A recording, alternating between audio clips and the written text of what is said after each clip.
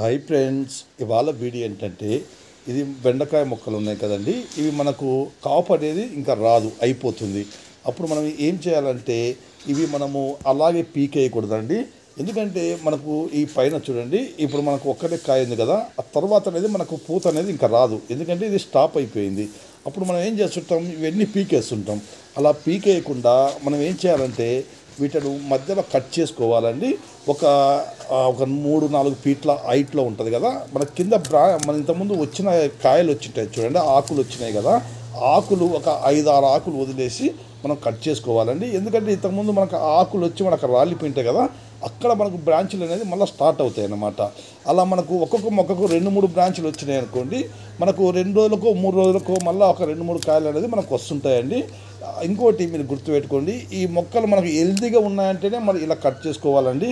అలా కాకుండా మొక్కలు మన కిందగా ఉన్నాయనుకోండి వాటికి మనం కరెక్ట్గా రావండి. ఇలా కాండం అనేది బాగా లావుగా ఉండాలి.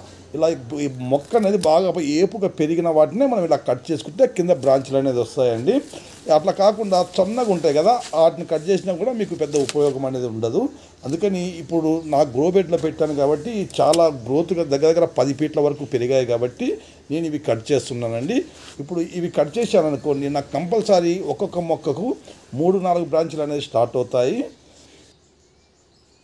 ఇంకోటి చూడండి మనకు ఇప్పుడు ఇప్పుడు ఈ మొక్క ఉంది చూడండి ఇది పైన మనకు ఇంకా పూత అనేది స్టార్ట్ అవుతుంది. ఇంకా ఒక పది పదిహేను కాయల వరకు వచ్చాయి ఇలాంటివి మాత్రం మనం కట్ చేయకుండా ఏవైతే పైన పూత స్టాప్ అయిపోతుంది కదా రాకుండా వాటిని మాత్రం మనం కట్ చేసుకున్నాం అనుకోండి మనకు ఆ కింద అనేది మంచిగా అన్ని బ్రాంచులు అనేది వస్తాయండి. అందుకని ఇవన్నీ మనం ఏవి కూడా పీకేయకుండా హెల్తీగా ఉంటాయి కదా మొక్కలు వాటిని మాత్రం మీరు కట్ చేసుకోండి. మళ్ళీ మీకు వన్ మంత్ వరకు కాపు అనేది మీకు వస్తుంది. చూడండి ఇప్పుడు మనకు ఇది కట్ చేసి వన్ వీక్ అయిందండి. వన్ వీక్ తర్వాత చూడండి మనకి ఎన్ని కాయలు వచ్చాయో చూడండి. మనకు ఒక్కొక్క మొక్కకు మినిమం మూడు మూడు నాలుగు నాలుగు కాయలు అనేది వచ్చాయండి. చూడండి ఇప్పుడు మనం ఇక్కడ కట్ చేసాం చూడండి. ఇప్పుడు ఈ మొక్కకు చూడండి ఇక్కడ ఒక కాయ వచ్చింది. చూడండి మన కింద కూడా మనకు ఒక కాయ వచ్చింది చూడండి. పక్కన ఇంకొకటి ఉంది చూడండి. ఇవి మనకు మూడు బ్రాంచీలు మూడు నాలుగు బ్రాంచీలు వచ్చాయండి. మూడు మూడు కాయలు వచ్చాయి. ఈ పక్కన చూడండి ఇది కూడా మనకు ఒక మూడు కాయల వరకు వచ్చాయి. ఇది కూడా చూడండి మన పైన కట్ చేసినాం కదా.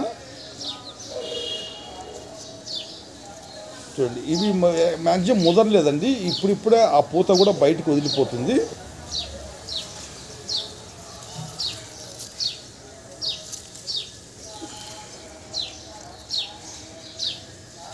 ఇప్పుడు ఇవన్నీ నేను కట్ చేశానంటే మినిమం నాకు హాఫ్ కిలో పైన వస్తాయండి. ఎందుకంటే నేను దగ్గర దగ్గర ఒక పది పదిహేను మొక్కల వరకు ఉన్నాయి. ఒక్కొక్క దానికి రెండు రెండు వచ్చినా కూడా మనకు ఒక ముప్పై కాయలు అనేది ఈజీగా వస్తాయండి.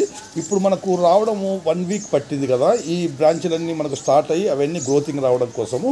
ఇప్పుడు నెక్స్ట్ మనకు ఇప్పుడు ఇప్పుడు ఏదైతే ఈ కాయలు మనము హార్వెస్టింగ్ చేసుకుంటాం కదా తర్వాత మనకు రోజు మార్చి రోజు మీకు మినిమం ఒక హాఫ్ కిలో అయితే కంపల్సరీ వస్తాయండి. ఒక పదిహేను మొక్కలు పెట్టుకున్న వాళ్ళకైతే కింద.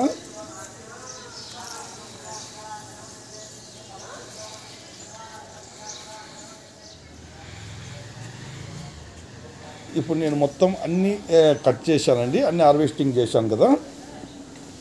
చూడండి దగ్గర దగ్గర అంటే హాఫ్ కిలో వరకు వచ్చాయండి నాకు. ఇవి ఒకవేళ మనం ఈ మొక్కలు పీకేసి ఉంటాం అనుకోండి ఇవన్నీ మనకు రావు. అందుకని మీకు మంచిగా హెల్దీగా ఉన్న మొక్కలు ఉంటాయి కదా వాటిని మీరు పీకేయకుండా ఇలా కట్ చేసుకున్నారు అనుకోండి మీకు ఇలా రోజు ఇప్పటి నుంచి రోజు మార్చి రోజు మీకు ఒక హాఫ్ కిలో హాఫ్ కిలో ఈజీగా వస్తాయండి. చూడండి మళ్ళీ నాకు ఈరోజు కదా నెక్స్ట్ రో ఎల్లుండి కల్లా మళ్ళీ మళ్ళీ ఒక హాఫ్ కిలో ఈజీగా వస్తాయి. చూడండి మ్యాక్సిమం ఒక పది పదిహేను కాయల వరకు ఉన్నాయండి.